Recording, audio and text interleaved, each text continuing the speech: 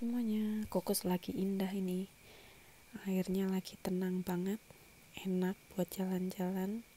Jadi kita naik perahu dan mau explore pulau baru. Sebenarnya bukan nggak baru lagi sih, udah lama. Namanya Horsebra. Nah, aku lupa orang-orang tuh bilangnya pulau tikus apa ya? Kalau orang Melayu Nah ini kita udah mau sampai. Ini tuh agak susah mau parkir perahunya Soalnya apa ada ombaknya gitu loh. Jadi ini kita mau cari yang agak tenang Biar bisa ditinggal. Ini ada apa namanya mur. Mur itu apa?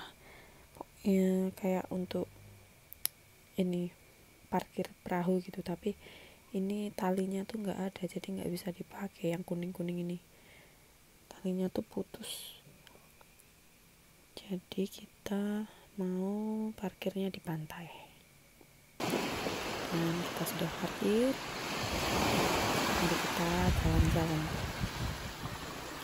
Nah ini tuh ada meriam itu ya kayak senapan-senapan itu karena ini dulu tempat berenang ini banyak kepiting kelomang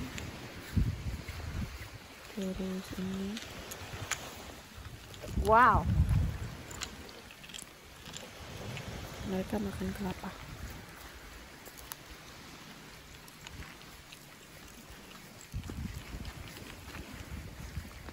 Banyak banget kan There must be lots of rubber crabs here. Yeah, you reckon? Yeah, because look at them. Oh look, it's That's a robber crab, man. yeah. That is, that's a robber crab who hasn't left his shell yet. Yes. One million percent. Yeah. Oh, that's a hundred percent. Yeah. Oh wow! See, this one as well, almost there. There. Oh cool! Oh wow! Must be there is a big one somehow. Yeah, for sure. Yeah, that's a robber crab. Wow. Nah ini tong air itu masih ada piring-piring yang masih baru dicuci berarti habis ada orang yang camping di sini. Nah ini dibangun sama orang-orang kokos buat camping kayak liburannya kayak gitu. Biasanya ada tempat tidur dan sebagainya. Tapi ini kayaknya udah lama nggak dirawat gitu ya berarti jarang didatangi. Karena memang Horsebra ini agak jauh gitu dari Home Island. Ini banyak sampah-sampah. Dan lagi kepiting.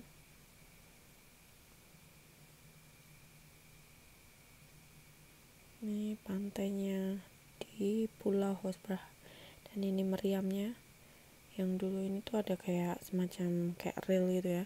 Terus nanti di, bisa diluncurin gitu buat menembakkan bom dari sini. Ini kan ada kapal-kapal karam juga di sini di daerah sini.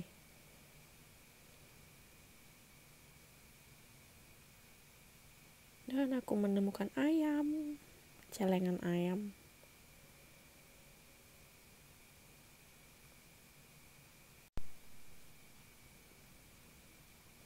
terus ini ada di pantai. Lagi ada ikan-ikan.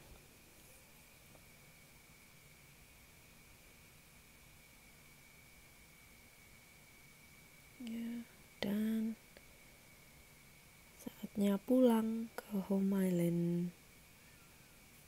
Ini pulangnya sore ya karena ini um, kita perginya sehabis pak suami kerja jadi kita apa pulangnya sore. Dan ini mau mampir ke pondok seperti biasa.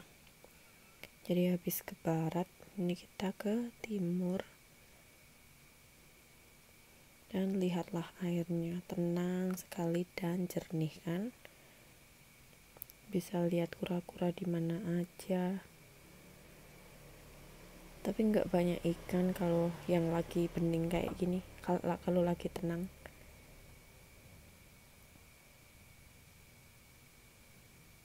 Tapi banyak lihat kura-kura gitu. Kita sampai sebentar lagi di pondok. Ini tuh kalau tenang gini istilahnya bahasa Inggrisnya doldrum. Jadi kayak ini apa namanya tenang gitu. Anginnya udah mulai nggak ada jadi benar-benar indah banget. Berenang pun juga enak.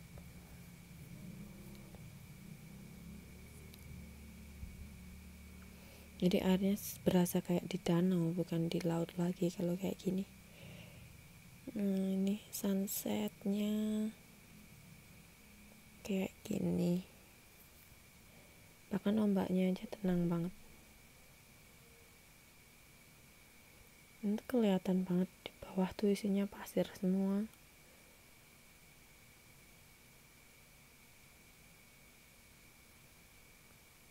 Kalau dari Horsbra ke pondok itu sekitar um, mungkin 10 sampai 15 menit mungkin nggak nyampe ya.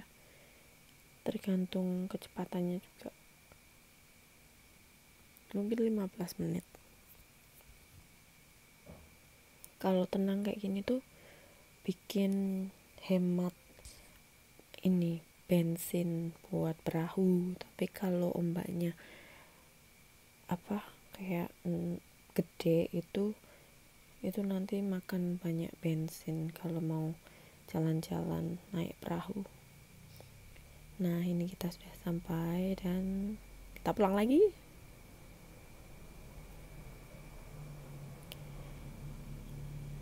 sambil menikmati sunset. Dan kita kembali ke home island. Ini, ini sunset. Hampir setiap hari di Koko sunsetnya seperti ini. Biasanya lebih indah lebih terang gitu.